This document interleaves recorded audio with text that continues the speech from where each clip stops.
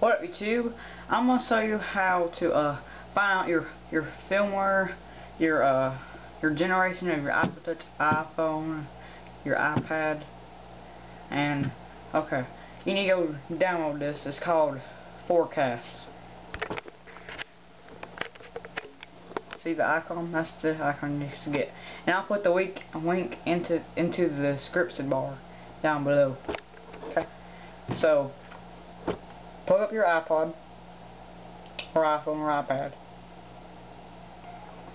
And click f0recast. Run.